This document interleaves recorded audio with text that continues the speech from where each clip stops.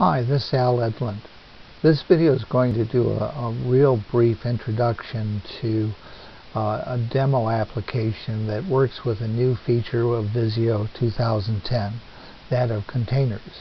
Containers allow us to group objects visually uh, and work with them on a page while not uh, being captured by some of the dependencies of a group shape. For further information on containers, I'd suggest you check blogs msdn.com Visio for the Microsoft Visio Insights group.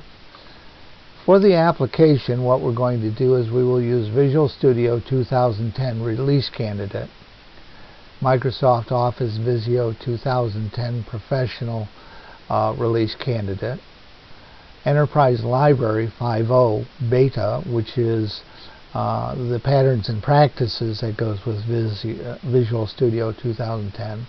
And I'm going to suggest that you investigate Chris, Chris Roth's utility for creating server shapes.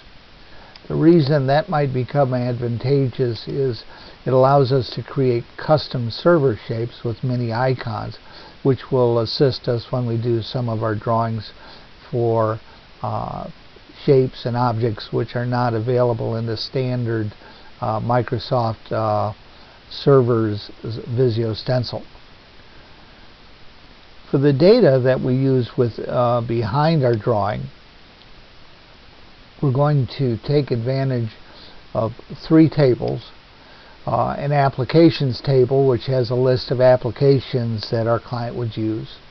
A solutions table which is really a grouping of applications and an applications connections table which uh, provides the information to the solutions table of what applications are involved.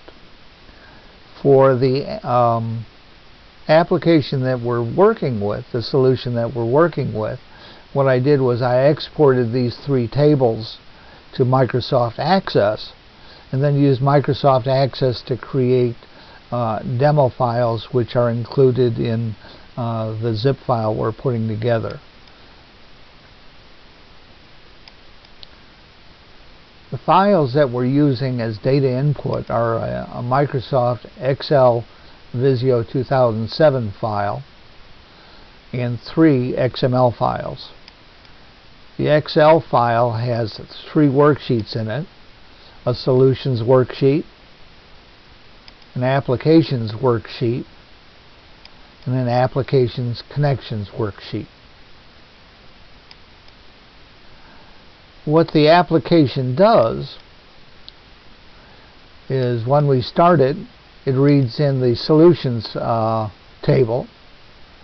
Based upon selecting a solutions table, it will list the applications that are involved with that solution and then we can add that solution to the page.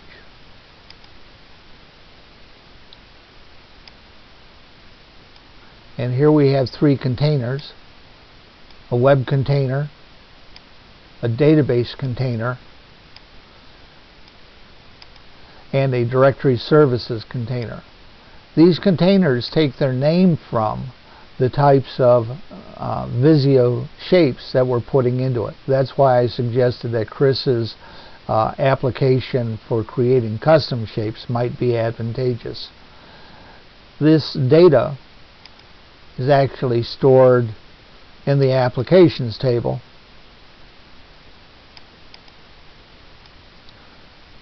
in a specific column and that's the master name that we pull out of the server table. The stencil that we use in the application is hard-coded, but obviously that can be changed. If we want to, we can select another solution and add it to our shape as well. And you can see that the uh, uh, containers uh, change size as we add it. We can also remove uh, solutions from the drawing. These are each saved, and by the way, on individual layers within the Visio drawing. If we want to save the drawing, we can load and save pre-existing drawings.